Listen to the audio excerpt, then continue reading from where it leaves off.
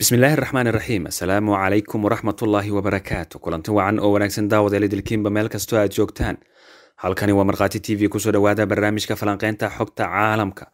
Qodobada daawadeel barnaamijka diiradda aynu ku saari doonna haddii allaha awoodda leh uu raali ka noqdo waxaa ka mid a ciidamada eritreya oo deegaana ka qabsada gobolka tigreega kadib dagaal culus oo ay la galeen t b l f. Xisbiga ra'iisul wasaare abiy axmed oo ku guuleystay doorashadii dhacday iyo qodobo kale oo arrimaha ethoobiya ku saabsan ee mar kale soo dhowaada. Waa hagaag waynu gudageli doonaa goordhow dagaalada eritreya iyo t b l f iyo guulaha ay gaareen ciidamada eritreya hase ahaatee aynu ku bilowno. Guddiga doorashooyinka qaranka ee dalka ethoobiya ayaa shaaciyey natiijada doorashooyinka kow iyo labaatankii bishii juun ka dhacday dalka ethoobiya wuxuuna guddiga sheegay xisbiga talada dalkaasi haya ee e p p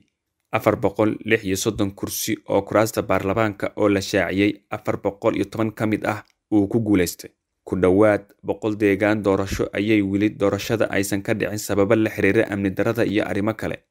Deegaanka tigree oo dagaalada ay ka socdaan wuxuu ka mid yahay deegaanada ay doorashadaasi ka dhicin halka deegaanada soomaalida iyo sidoo kale hararidana doorashadooda dib loo dhigay loona mudeeyey lixda bisha sebteembar xisbiga ra'iisul wasaare abiy axmed ayaa u baahnaa boqol afar iyo toddobaatan kursi oo keli ah si uu doorashada ugu guuleysto doorashada guud ee bishii hore dalka ethoobiya ka dhacday waxaa hareeyay dagaalka sideedda bilood ka socday deegaanka tigree halka deegaanka oromadana laga soo sheegayo xadgudubyo baahsan in ay ka dhaceen laba ka mid ah xisbiyada mucaaradka kuwooda ugu waaweyn ay doorashadaasi qaadaceen. Waxaa soconaya dabaaldegyada ay muujinayaan taageerayaasha xisbiga ra'iisul wasaare abiy axmed iyada oo dadka qaarna ay sheegayaan in aysan suuragal ahayn iyada oo loo baahnaa boqol afar iyo toddobaatan keliya kuraasta in ay ka helaan. Ama uu ku guuleystay xisbigaasi in intii badneedba kuraastaasi iyagu ay qaateen. Weli barnaamijka falanqeynta xogta caalamka ayaad la socotaan markhaati t v ayuu idinkaga imaanayaa daawadayaal meel walbood joogtaan wakhti wanaagsan ayaan hawada idinka leenahay markana bal aynu eegno.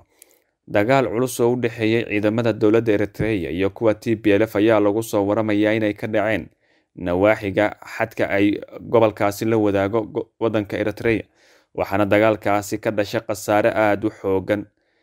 Ciidamada t b l f ayaa lagu soo waramayaa in ay qaadeen weerar ay ku gaadayeen ciidamada eritreya hase ahaatee ciidanka eritreya oo difaacyo adag horey ugu sii jira ayaa la sheegay in ay dhanka xadka ka soo tallaabeen islamarkaana ay la wareegeen deegaano badan oo ay ku sugnaayeen markii hore t b l f halkaas oo dagaalkii ugu qaraaraa uu ka dhacay. In ka badan konton ka mid a dhinacyadii dagaalamay una badan ciidamada t b l f ayaa la xaqiijiyey in halkaasi ay ku dhinteen iyadoo dhaawac fara badanna uu jiro sidoo kalena. Wararka waxa ay sheegayaan in la burburiyey gaadiid dagaal oo ay wateen ciidamada t b l f sida saraakiil ka tirsan t b l f ay sheegeen. Waxaa dagaalkaasi ay eritreya uga qayb qaadatay madaafiic culus iyadoo wararka qaar ay sheegayaan diyaarado dagaal inay soo galeen. Laakiin ilaa iyo hadda lama xaqiijin oo dhanka eritreya wax war arrintaasi kama soo saarin balse waxaa la xaqiijiyey in gantaalo culus ay ka soo dhacayeen dhanka gudaha waddanka eritreya lala bartilmaameysanayay goobaha ay ka dagaalamayeen t b l f waana sababta keentay in deegaanadaasi ay dib uga ruqaansadaan ciidamada t b l f. Inkastoo goobihii lagu dagaalamay weli gacanta ay ku hayaan ciidamada eritreya haddana waxaa lagu soo waramayaa in ciidamada t b l f ay wadaan dhaqdhaqaaqyo aada u xoogan. Dadka falanqeeya arrimaha ammaanka ayaa sheegaya in t b l f khasaare uu ka soo gaari karo mar walba oo ay dagaalo ku qaadaan goobo horey aan loogu dagaalamin sida gobolka amxaarada iyo sidoo kale waddanka eritreya sababtuna waxa ay tahay waxay yidhaahdeen waxaa loo baahnaa oo keliya markii ay deegaanadooda dib u qabsadaan in ay ugu yaraan xabad joojinta qaataan islamarkaana waxaa jira waanwaan laga galo. Hase ahaatee ciidamadooda oo ku dhowaad sideed bil duurka ku jiray oo dagaalamayay markii ay isku dayaan inay la dagaalamaan ciidamo muddo nasanayay xaalad ahaantooda degan tahay dagaalna mar hore ugu dambeysay inay iyagu uun khasaare ka soo gaari karto. Ciidamada maxaarada dhankooda iyagana waxaa la sheegayaa in ay heegankooda ku jiraan iyadoo mararka qaar ay jiraan isku dhacyo dhex maraya ciidamada t b l f iyo kuwa maxaarada sahankooda hase ahaatee ma jiro weli dagaal weyn oo labadan dhinac ilaa iyo hadda dhex maray marka laga soo tago isku dhacyada lama filaanka ah. Amxaarada ayaa yar iyo weynba waxay soo qaateen hubka waxaana ay doonayaan inay dhulkooda difaacdaan islamarkaana ay cashar u dhigaan t b l f. Saraakiishooda amxaarada waxa ay sheegayaan inay diyaar u yihiin gobolka tigreeg oo idil inay gacanta ku dhigaan haddii ay t b lf isku daydo in ay dhankooda u soo tallaabsato. Halka t b lfna ay sheegayso in ay ka go-an tahay in ay weerar ku qaado gobolka amxaarada islamarkaana cashar lama iloobaan iyaguna ay u dhigaan xaaladda guud ee gobolka tigreega weli waa mid qasan iyadoo ilaa iyo hadda aanay jirin wax natiijo ah oo laga gaaray dagaaladii t b lf ay galayeen. Waxaana jira wadahadallo ay doonayso beesha caalamka in lagu qaboojiyo xiisadahan si meesha looga saaro dagaaladan soo noqnoqday iyo sidoo kale in xaaladda laga dhigo mid nabdoon. Dhinaca kalena haddii aynu eegno wasaaradda arrimaha dibadda ee ethoobiya ayaa beesha caalamka ugu baaqday in t b lf ay ku cadaadiyaan inay aqbalaan heshiiska xabad joojinta ah ee dowladda federaalka ku dhawaaqday kadib markii ciidamadeeda ay isaga baxeen gobolka tigreega.